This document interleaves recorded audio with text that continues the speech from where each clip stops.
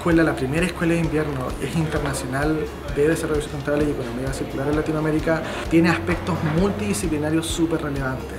El desarrollo sustentable per se trabaja desde la interdisciplina. El seminario inicial fue todo un éxito. Estuvo la gente de Fundación Basura estuvo el Ministerio de Medio Ambiente dando lineamientos y un conversatorio hacia la situación en Chile del desarrollo sustentable de la economía circular y estuvimos a sala llena. O sea, estos temas están llamando y están llamando desde los distintos mundos. Y eso es súper interesante.